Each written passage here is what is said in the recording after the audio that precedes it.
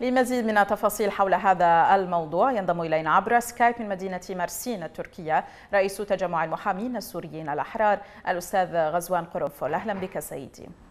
تحياتي لحضرتك. آه، كيف تبدو الأوضاع في إدلب بعد انتهاء مهلة إخلاء المنطقة العازلة؟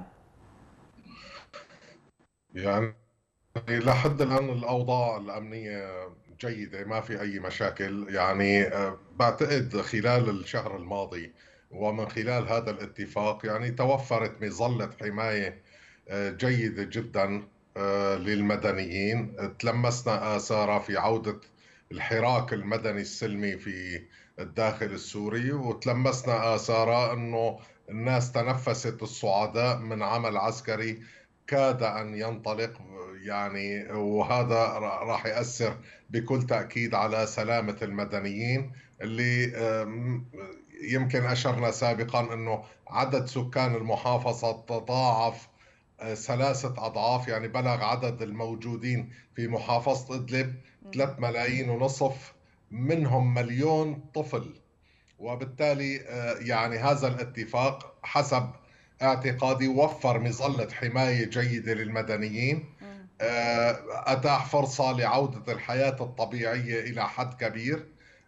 وبنفس الوقت يعني آه، وفرت آه، تركيا ظروف أفضل لانطلاق آه، يعني أمور المدنيين على المستوى الاقتصادي والتعليمي وغيره من ماذا عن موقف هيئة تحرير الشام ومصيرها من هذا الاتفاق؟ يعني بكل أسف الموقف بالنسبة لهيئة تحرير الشام يعني ما زال ملتبس إلى حد كبير ولكن واضح إنه آه، لن تلتزم أو لم تلتزم على الأقل إلى الآن بمضامين هذا الاتفاق وهذا سيتسبب بمشكلة حقيقية وسيؤثر على آه، يعني سلامة هذا الاتفاق وديمومته وبالتالي سينعكس على آه، المدنيين وامنهم وسلامتهم بكل أسف يعني يفترض بهيئة تحرير الشام أن تدرك إنه لم يعد هناك من مجال سوى الالتزام بهذا الاتفاق لأنه آه، هو اولا اتفاق دولي وحظي هذا الاتفاق أصلا برعاية واحترام دوليين يعني ودعم دوليين. وبالتالي آه، يعني يجب الالتزام فيه تجنيبا لانطلاق عمليات عسكرية بحجة محاربة الإرهاب سيتم آه، استهداف المدنيين. بالمقابل المعارضة تطمح لمنطقة وقف إطلاق نار شامل. ما مدى إمكانية تحقيق ذلك في ظل تمركز هيئة تحرير الشام في الكثير من المواقع وانتشار الميليشيات الإيرانية أيضا؟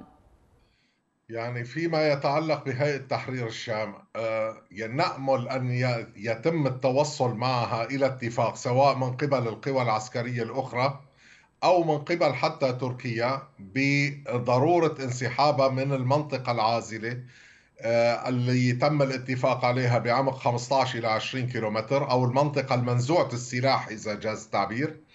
وإتاحة الفرصة للدوريات المشتركة الروسية التركية لمتابعة الوضع الأمني في تلك المنطقة آه، لأنه عدم الاتفاق يعني سيجلب إلى المنطقة مزيد من الدمار فيما يتعلق بالتواجد الإيراني على الطرف الآخر آه، يعني مع الأسف الاتفاق لم ينص أصلا على انسحاب أي قوة أخرى من الحد الفاصل يعني آه، من طرف النظام أو من طرف تواجد الميليشيات الداعمة للنظام نعم. وبالتالي ما بنقدر آه، يعني نقول لماذا لم تنسحب تلك الميليشيات لأنه أصلا الاتفاق لا يتضمن إلزام لها بالانسحاب آه، كيلومترات معينة كما آه، تم الالتزام فيما يتعلق بالمناطق الخاضعة لسيطرة المعارضة هل تتوقع نجاح القوات التركية الروسية في تنفيذ الاتفاق وتجنيب إدلب أي هجوم عسكري من قبل النظام أو نشوب مواجهات بين النظام وهيئة تحرير الشام؟ يبدو لي إنه هناك مصلحة مشتركة بكل تأكيد تركية روسية بتجنيب محافظة إدلب كارثة. ليس لأن روسيا لا تر يعني لا تريد استعادة تلك المنطقة لصالح النظام وإنما لأنه كلفة العملية العسكرية عالية جدا ولا تريد روسيا اولا أن تخسر آه، تركيا في هذا في هذا الموضوع. وبنفس الوقت لا تريد أن تتحمل مسؤولية أخلاقية عن حجم الدمار والقتل اللي ممكن يلحق بالمدنيين فيما لو تم استهداف المنطقة. وبالتالي أزعم إنه آه، هذا الاتفاق آه، سيستمر آه، في المدى المتوسط.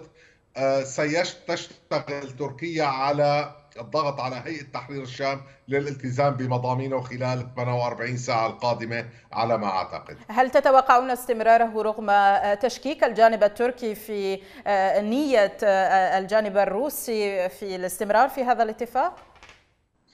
أعتقد إنه تركيا آه، من مصلحتها تنفيذ هذا الاتفاق وهي مصرة على تنفيذه آه، وأزعم إنه روسيا أيضا لها مصلحة في المدى المتوسط بتنفيذه وعدم استعادة المنطقة لصالح النظام على الأقل في هذه الفترة لأنه الاتفاق يحظى بدعم دولي حقيقي تلمسناه بالمواقف الغربية والمواقف الأمريكية وبالتالي لا تريد روسيا في هذه اللحظة خسارة الحليف أو الشريك التركي في هذا الاتفاق أولا وبنفس الوقت لا تريد أن انطلاق عملية عسكرية واسعة النطاق أكلافها العسكرية وأكلافها الأخلاقية عالية جدا وبالتالي لا تريد تحمل مسؤوليتها رئيس تجمع المحامين السوريين الأحرار الأستاذ غزوان قرنفل كنت معنا عبر سكايب من مرسين.